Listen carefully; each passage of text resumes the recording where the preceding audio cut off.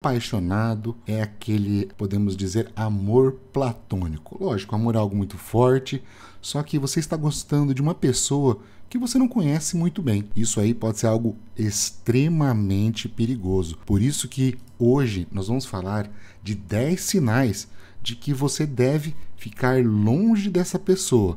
E talvez você esteja até ficando com essa pessoa e prestes a entrar num relacionamento. Então, Fica ligado nesses sinais, cara, porque isso pode te salvar de encrencas enormes no futuro. Vamos lá? Seja bem-vindo ao Santo Papo, senhores. Aqui é o Marcel Cume e esse é o novo formato, um formato de teste. Não quer dizer que ele seja permanente, mas é algo que você pode escutar aí no seu carro, caminhando, na academia e tá aprendendo algo de muito valor para vocês. Nos dias de hoje, a gente tem que ficar muito atento a alguns comportamentos em relação às mulheres. E por quê?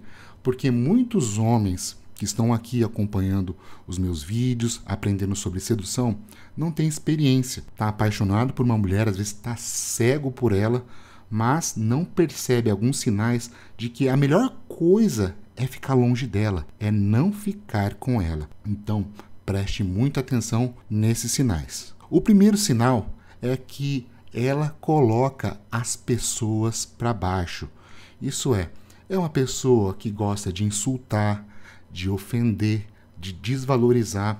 Você tem que ficar atento como que ela trata pessoas, por exemplo, assim, por exemplo, uma empre empregada doméstica. Como que ela trata um funcionário, um garçom? E olha, garçom é perigoso, hein? Nunca ofenda quem prepara a sua comida. Então, se ela tem mania de deixar as pessoas para baixo, já é para você ligar o seu sinal de alerta. O segundo, ela é autocentrada. Isso significa que ela é egocêntrica. Pensar e falar em excesso sobre si mesma e ignorar completamente os outros e até mesmo você. Em muitos vídeos a gente fala que é importante você ouvir o que a mulher tem para falar sobre ela, né?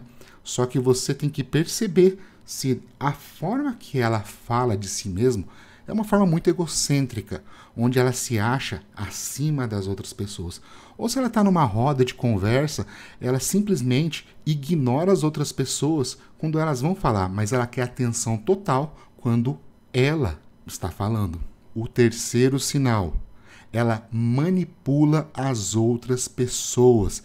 Isso significa que ela usa táticas que são muitas vezes é, suspeitas para conseguir o que deseja. Ela manipula os sentimentos e as ações das pessoas para conseguir aquilo que ela quer. Ela não importa se vai prejudicar alguém, se vai fazer mal para alguém, se vai magoar alguém. O foco dela é alcançar o objetivo a todo custo. O quarto sinal ela é extremamente ciumenta e possessiva ela se preocupa excessivamente sobre o que você está fazendo. Mesmo coisas simples, coisas da rotina.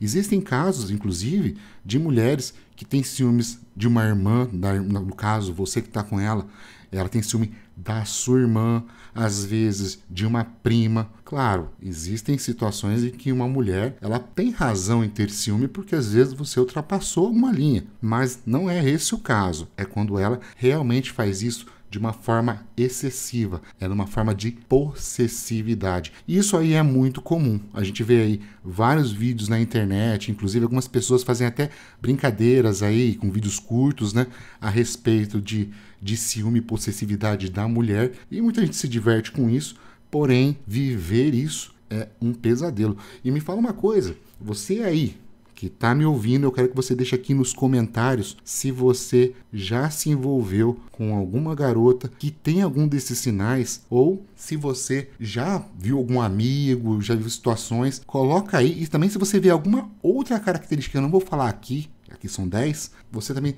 deixa aí nos comentários que eu quero saber de você. O quinto sinal, ela se recusa a assumir responsabilidade pelos próprios erros. E olha, isso é complicado. Sabe aquela pessoa que ela está errada mas de alguma forma ela consegue inverter a situação e fazer com que você se sinta culpada, ela sempre tem uma desculpa para não assumir responsabilidade. Isso aí é um sinal muito grave, porque isso aí pode indicar também características narcisistas. E esse tipo de pessoa, meu amigo, ela vai te dar dor de cabeça, porque ela vai te puxar para baixo de uma forma que você, cara, só vivendo para acreditar. E também essa também é uma característica muito comum, e não só em mulheres que são tóxicas, podemos dizer assim, mas sim características de pessoas tóxicas. Às vezes você tem até um amigo, um colega de trabalho, em ambiente de trabalho, isso é extremamente comum, né? Então, fica ligado também nesse sinal. Sexto, ela é extremamente crítica. Sabe aquela pessoa que você vai falar algo para ela e ela te critica e tenta achar um lado negativo daquilo? Por exemplo, você está no emprego, num trabalho, e você recebe uma proposta de um outro trabalho que vai pagar até melhor. Ao invés de ela te incentivar, de ela te puxar para cima, te dar os parabéns, ela vai te criticar. Ela vai tentar achar um ponto de vista ruim dessa sua decisão. E vai acabar falando coisas do tipo: Poxa, mas você estava num emprego estável, para que, que você vai sair de lá? Você vai, vai para esse outro lugar e você pode ser mandado embora, daí você não vai ter mais nada. Ela nunca apoia. Ela sempre vai encontrar um ponto de vista negativo em relação até às coisas boas que você apresenta para ela. 7. Ela é uma pessoa extremamente cínica e cética. E o que, que isso significa? É aquele tipo de pessoa que sempre desconfia de algo, por mais às vezes inocente que seja. Por exemplo, você estava ali passeando no shopping, encontrou uma amiga da época da escola, resolveu bater um papo. Chegando, quando você encontra a sua garota, você vai lá e conta a respeito disso. E ela, ah, quem que era? Ah, deixa eu ver, qual que é o Instagram dela? Ah, solteira. Sei não, hein? Eu acho que ela não tava afim só de dar um oi, não. Acho que tem alguma coisa aí por trás. Você já ficar, né, pra escola e não sei das contas? Sabe aquela pessoa que fica ali sempre tentando encontrar alguma algum deslize, seu mesmo aonde não existe? É cínica, começa a arrumar confusão quando não precisa. Isso também é uma característica muito normal de relacionamentos tóxicos, então tem que ficar muito ligado. 8. Ela é frequentemente sarcástica. Isto é, você vai falar às vezes de um assunto sério com ela, um assunto importante, ela acaba ironizando ou até zombando sobre aquilo. Ela faz piadas é, em situações que às vezes não precisa. Por exemplo, um amigo seu quer conversar contigo porque a namorada deixou ele. Pô, você vai dar apoio pro teu amigo e ela é sarcástica. Ah, ele vai saber se ele não mereceu também ele fica aí naquele jogo de futebol e você vai junto também, sabe? Não, não, não se sensibiliza com algumas coisas, né? Ironiza situações em que muitas vezes não deveria. 9. Ela é desconfiada e controladora. Voltando ali no exemplo de você ter encontrado uma colega de, da época da escola e tal no shopping, além de ela desconfiar que você estava fazendo algo, mesmo você tendo encontrado, oh, encontrei, só dei um oi e tal, a gente bateu um papo, perguntou como é que estava a vida, ela vai falar para você, ela tá no seu Insta? Tá lá. Apaga. Apaga e eu não quero mais saber de você conversando com ela. Só que o controle vai em todos os aspectos da sua vida. Simplesmente ela não permite que você tome decisões. Ela quer estar no controle de tudo. É como se tudo girasse ao redor dela. Olha, eu quero que você deixe aqui nos comentários se você está gostando de alguém assim, se você está numa relação assim ou se você escapou de uma relação assim. Então coloca aí para mim. E a décima e última ela é extremamente mentirosa. E olha, por incrível que pareça, tem muitos caras que percebem, que sabem que a garota que está com ele mente, inventa história ou floreia. Caras casados até sabem como é que é, né? Ela aparece lá com um sapato, fala que pagou 50 reais, mas na verdade foi 500 reais.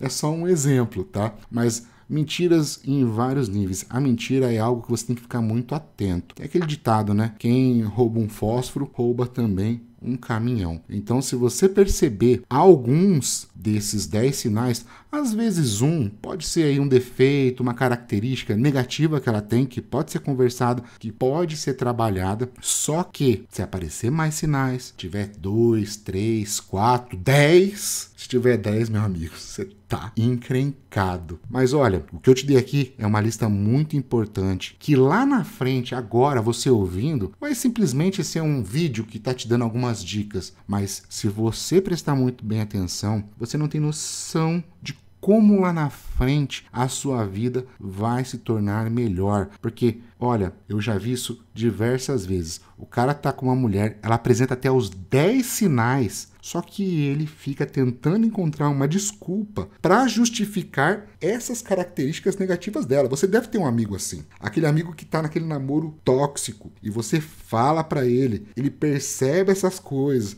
mas ele às vezes até assume responsabilidade por ela agir dessa forma. Ela fala assim: ah, putz, cara, ah, eu devia ter apagado as mulheres no meu Instagram na hora que eu comecei a namorar com ela, mas é culpa minha, por isso que ela fica desse jeito. Não, tá errado. E se você tem algum colega aí tá passando por essa situação, pô, faz uma boa ação, compartilha esse vídeo com ele. E se você aí não quer passar por esse tipo de situação, eu vou deixar minha recomendação pessoal aí, que é o meu e-book, o método fator X. Ele vai ajudar você a entender sobre sinais de interesse, sinais de desinteresse, sinais de mentira e leitura comportamental feminina. Eu falo homens que dominam essas leituras de sinais são os caras que não se metem em confusão, porque o cara antes mesmo de às vezes conversar com a garota, ele já pegou um monte de sinal negativo, ele fala: "Aqui não". Da mesma forma que ele vai às vezes bate o olho numa garota, ele vai saber que ela tem boas características e que inclusive ela pode estar interessadas nele. Se você é um cara que se cuida, um cara conversa ok, nada extraordinário e no seu dia a dia diversas mulheres te veem, por exemplo, assim, você pega metrô, vai para faculdade, acredite, todos os dias alguma mulher olha para você e fica interessada. Só que você não percebe, sabe por quê? Porque você não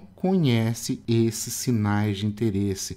E a partir do momento que você conhece sinais de interesse, vai ser natural. Você tá na rua, você vai bater o olho e falar: opa, essa garota está interessada em mim. Se eu chegar lá para conversar com ela, vai estar tá tudo bem. A gente vai trocar uma ideia. Óbvio que ela pode ser uma pessoa que tem essas 10 características, mas você sabe que ela está interessada, você vai ter, ela vai te dar abertura para você conversar. E você sabendo esses 10 sinais, você vai lá naquela jogada do vamos ver qual é e não vai se meter em crenca. Então, se você quer adquirir o fator X aí tá com desconto. Acesse aí métodofatorx.com.br e eu também vou estar deixando o link aqui na descrição desse vídeo e também no comentário fixado. E se você quiser um tema diferente, deixa aqui nos comentários pro próximo Santo Papo. Até lá.